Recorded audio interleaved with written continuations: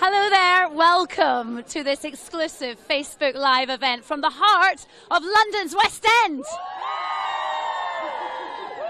We're all here outside uh, Her Majesty's Theatre, right in the centre of London, because tonight, hello, we are celebrating the 30th anniversary of the Phantom of the Opera. So exciting. They've all got tickets. They're all going inside. Look, can you see can you see Mr. Phantom? Phantom, can we have a wave? There he is. He's over there. And don't worry, you're going to get a good view from exactly where you are as well. But can you believe it's been three decades since the Phantom first sang to Christine on stage in this very theatre? That's 30 years since we first heard songs like Music of the Night and Phantom of the Opera. And you know what? They knew they had a major hit on their hands because on opening night there was a standing ovation that lasted 10 minutes long. Can you believe it? 10 minutes long. It's amazing.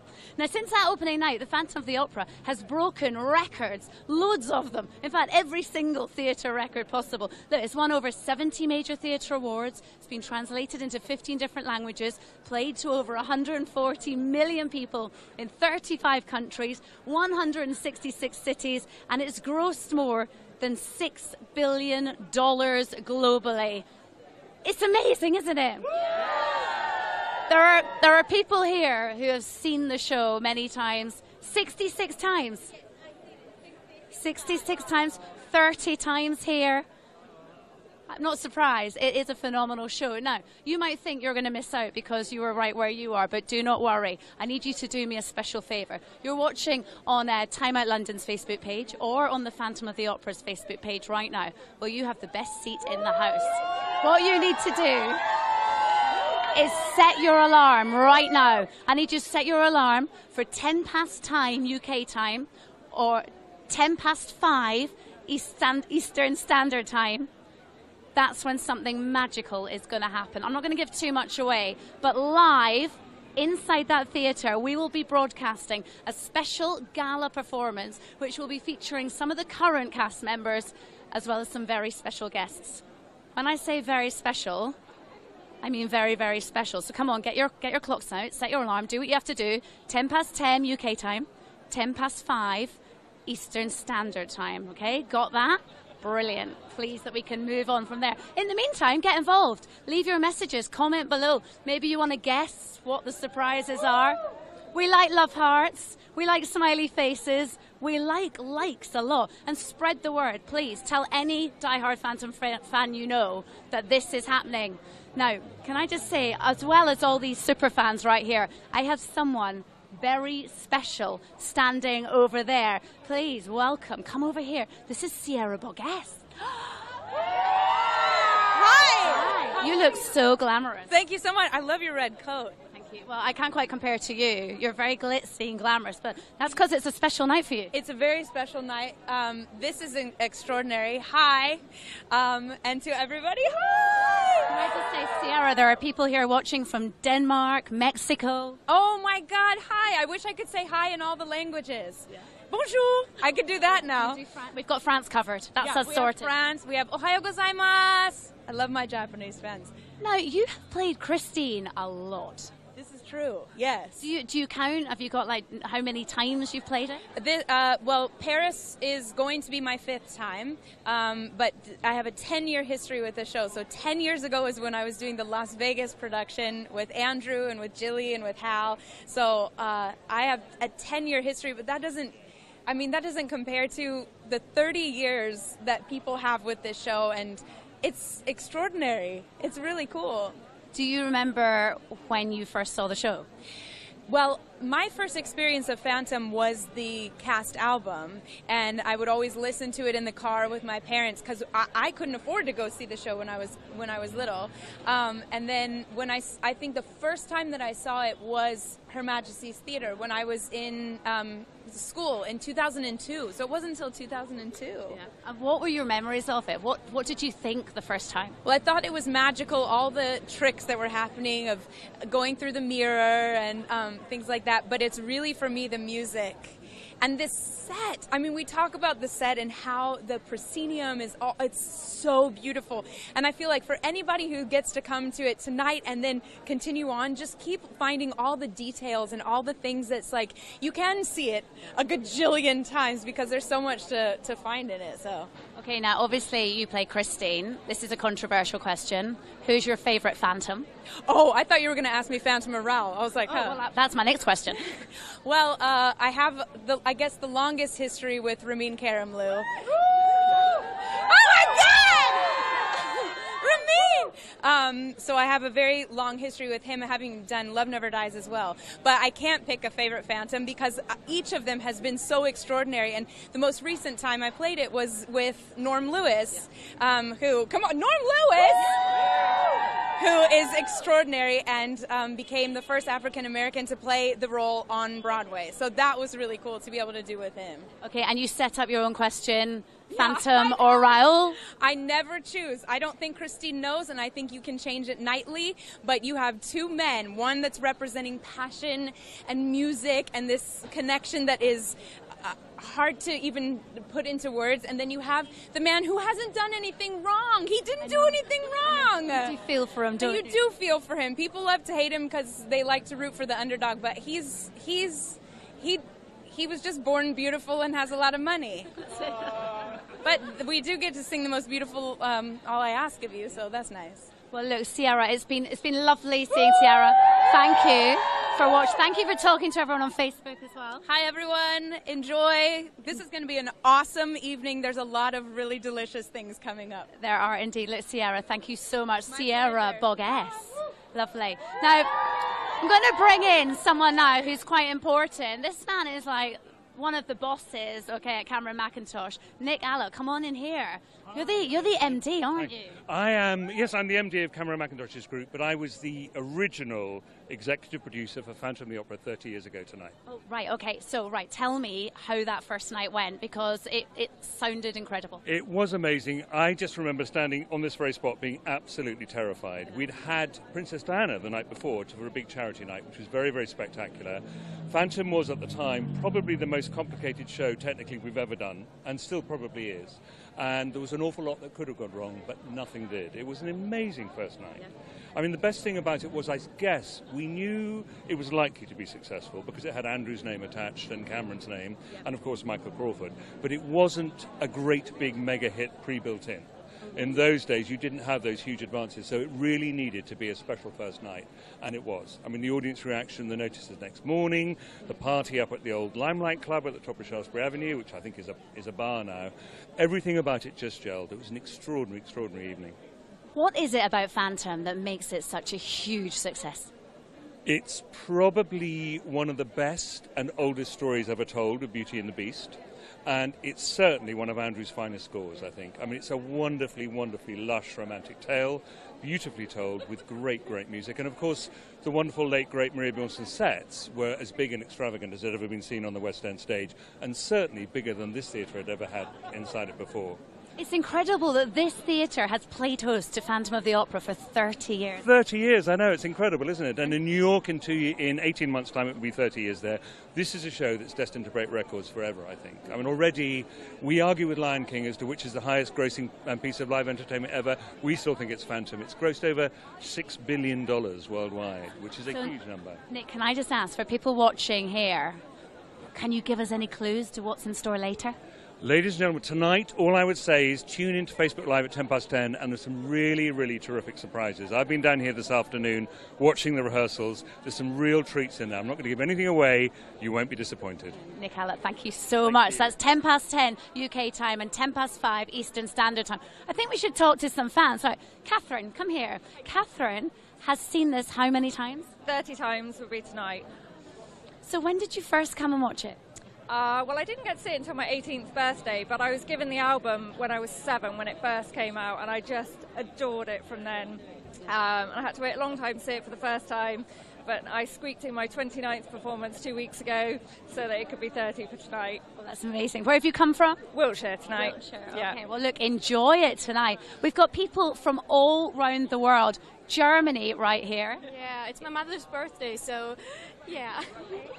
She gave me the tickets as a present. What a lovely birthday present for you as well. And over here, look, this lady here, how many times have you seen it? I saw 66 times. 66 times. Do you know every single word? yes. Where are you from? I'm from Japan. And have you seen it in Japan as well? Of course. Which is better, the Japanese version or the original? Original, of course. And- doing karaoke. well, this is Leslie. Leslie's a super fan too. How many times have you seen it, Leslie? I've seen it 10 here and twice in New York. And where have you come from today? I've come from Windsor. Okay. And um, Andrew Lloyd Webber cast my cousin as Gustav in the original Love Never Dies with Sierra. That's right, the sequel. So I've got connections. Okay, so can I ask, here we go as well here. Let me ask you, what is it you love about Phantom of the Opera? Well, the music and, and the storyline. And my name is Christine. Chris Christine there. Everyone loves the music. And where are you from? Uh, I've come from Thailand. Oh, right, okay. Can anyone beat Thailand? That's quite far, isn't it? What is it that you love about Phantom of the Opera? Uh, well, Phantom of the Opera is the musical that made me want to pursue theater as a career. So, um, it's music of the uh, music of the night was probably my favorite thing about it. Right. Well, look, you're all in for an amazing treat tonight. Do you know what? I think I think it might be time for some facts. Phantom facts. What do you think about this? I have got quite a few. Just let me get my list right here. Um, because no gala performance would be complete without a few uh, musical facts. Do you know that this is the longest running show in Broadway and also the second longest running West End musical here in the UK after Les Miserables? Did you also know that Phantom of the Opera has taken more than any movie or stage play at any box office, right? That's including Titanic, Avatar, Star Wars. This one has grossed over $6 billion so far. Did you know that it takes two hours for Phantom to put his makeup on? And it takes him 30 minutes to take it off. Girls, imagine if it took half an hour to take your makeup off. Come on. The process is quite long and arduous. They start with some moisturizer, and then they do a close shave. Then they put the prosthetics on, which set quite quickly. And then after that, they have two wigs, two radio microphones, and two contact lenses. One is white, and one is a little bit cloudy. So it's all a process. Now, we're going to have another fact here quickly for you. Michael Crawford, the original Phantom. Did anyone see Michael Crawford as the Phantom? You saw Michael Crawford. What was he like? Wonderful, absolutely wonderful. Yeah. Yeah, nearly nearly 30 years ago, yes, with Sarah Brightman as well. Oh, so you saw the original cast. Full cast, yeah. Fantastic. Well, look, the original Phantom, Michael Crawford, he played the role for three and a half years, 1,300 performances. But this lady. How are you? This lady is a legend here. Gillian Lynne, superstar choreographer. How are you? I'm exhausted. That's because you've been working all day. We've been, at it. We've been making new things and all that. Well, it, I tell you what, this woman has been on stage working hard all day long. Yes, it's true. But so have they. Yeah. They're wonderful. So you worked on this, the original show as well, didn't you? I was, I, I was one of the ones that created it. So how how does it work? When does the choreography come in? Is it something that you work with Andrew and Cameron? No, you. That's it. I love the fact you wear the trousers. Um, no, you, you, you listen to the score. He played it to me very early on. I fell in love with it, and he said, take it away. So it's up to you then to interpret the um, songs and interpret the text and, you know, get at it. But you, I know. Well, you've done a marvelous job, and I know that you're busy as well. There's another show that you're bringing to the West End too. but they are wonderful. Well, one little show called Cats, you mean? Yeah. There's. She's such a busy lady. So are you. And you're beautiful too. Oh, she's nice, isn't she? We've got we've got someone else here right now as well. Someone. Let me let me let you go and stand up. Are you going to do a swap? Are you going to come in? Oh, look, here we go. This man you might recognise. This is John Owen Jones. Uh, Hello. you- hello there. How are you? I'm very good, very excited. Hey, you've played the Phantom quite a few times. Uh, yeah, I've done it more than anyone else in the West End, so nearly 2,000 performances. So See, can I just say that high five that? Yes, that is, uh, that is pretty much. good. I know I want to high five a Phantom. It's pretty cool. And how did you feel when you first got the role? Oh, um, it's an iconic thing to do, you know. It's a dream of any actor to perform in the West End and to perform wearing the mask in the most iconic show in the most iconic role was a dream come true. So, as you can imagine, I was, you know, nervous, excited, and extremely happy. Yeah. And who's your favourite Christine? Oh, that's very uh, politically. Um, they've all been my favourites. Yeah. And now just between us. Uh, Michael Ball. Oh, I know he's good. He's he's right here Oh, as he is, well. Michael, come on in. Nice to see you. Nice to see you too. You got a cheer. I do. I didn't get a cheer. Oh, I'm sorry. Can, Can we you have cheer, a cheer for John? John, Owen please? All right, enough. Not too much. Detecting a slight bit of rivalry. Did you two ever appear on stage together? we have. We've done concerts. Never, never in this, or never actually in a, in a production. But uh, John and I- have sung together in concerts and Yeah, stuff. yeah, yeah, and, and um, he's taught me a lot. I wouldn't tell it to his face, but he's t- I've learnt a lot from Michael. Mostly what not to do. What not to Yeah. do? Exactly. I was going to say. Can obviously tonight is a very special night. We have people around the world watching on Facebook Live now. Nice to Um, see you. What is what is in store for them later on? Well, there are some surprises. It's the regular show, of course, and then after that, all bets are off. There may be some surprises happening on stage. You may see us at some point. You may not. Who knows? You'll have to tune in to see. Yeah. You'll have to tune in. It, it is going to be pretty awesome. Yeah. The uh, and it cha- it changed. We didn't have long to rehearse, so we came in and, and it and it it, It it didn't have grew. long to rehearse what? yeah, exactly. Well, uh, what are you talking about? Nothing. Nothing, no, nothing. no, nothing. It grew and grew, Yeah. And it's it's it's fun. It's fun, and also it's moving, and uh, yeah, it's, Yeah. it's, it's everything that the show is. Yeah, it is really special to be here and be part of this, and I think everyone watching tonight is in for a very memorable evening. I should just remind everyone the times. It's 10 past 10 UK time, 10 past 5 Eastern Standard Time. Do not miss it. Set the clocks. That's Set what the I'm clock, saying. set, set your set your timer. Yeah, well, yeah, whatever. Yeah, yeah. They're What, excited. what They your yeah. favourite song in Phantom? Oh gosh, I don't think there are many better love songs than All I Ask of You. I mean, it's a beautiful duet. Uh, music of the night is stunning. I just wish I could hit that last high floaty note like he can. Um, it's I- unreal. It's, uh, thank you very much. You're very, very kind. Is this something that can happen, like, no? Uh, no. Oh, No, no, no, no, no, no, no, no. I There can't is do one. that. I don't There is one act. This is a true story. I won't say who it is, but you know who it is.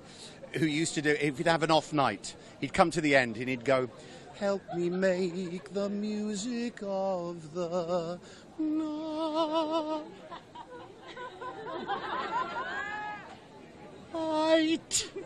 And everyone would go, "It's so quiet and pure. It's almost like you can't hear it." True story. It was me. It was me. No, it wasn't. No, me. it wasn't No, you. it wasn't me. No. I have to say, my favourite song on the show was "Wishing You Were Somehow Here Oh, Again." Yeah. I love that, and I think that should uh, hopefully make a reappearance during the special finale we have planned. So yeah. We were just talking a moment ago about the, the makeup routine for a Phantom. Does it really take two hours to put it all on? Uh, it can do, depending on what time you get into the theatre. I know in my experience, trains have been late, and we've done it in 35 minutes. Um, but then most of it's just flapping off. So, um, yeah, it usually takes up to two hours to get it really nice, you know, yeah. And actually taking it off takes longer sometimes, doesn't it? It's the, I found that with Woman in White. It's the whole ungluing. Yeah, yeah, otherwise, Eey. yeah, otherwise your skin falls apart Yeah. if you're not careful, yeah. Okay, here's something now. Has the mask ever fallen off mid performance? Yes, as has the wig, the makeup, all sorts of things have gone wrong. The worst thing that ever happened to me was doing uh, music of the night with my flies down. So, um, so I always check. Yeah, I mean, I always check my flies now before I go on stage. My favourite event in that sort of line was when uh, Christine at the end whipped off the Phantom's mask to reveal him, and, and his cufflink got caught in her wig. And so, as he was revealed, her wig got ripped off, and she's there in the bald cap with the wires for the microphone. She looked worse than the Phantom. Yeah. She just had to rip it off his arm and stick it back on her head. I didn't laugh at all. No. I was really, No, I really you were very professional. professional, yeah. Oh, it was awful. Uh, That would have been quite a hard one to kind of like, yeah, I'd imagine to keep a straight face during. But the thing, it's what Cameron and Andrew have created here is extraordinary. And they, they said that they had no idea that it was going to be such a success. But when you see it for the first time, you just know it's incredible. So Yeah, yeah, yeah. It's absolutely magical. And what what Cameron and Andrew have very cleverly done is they've never taken their eye off the ball. You're never going to better um, Maria Bjornson's design ever. I mean, it, it is exquisite, uh, and that's because it's rooted in the original Victorian theatrical design.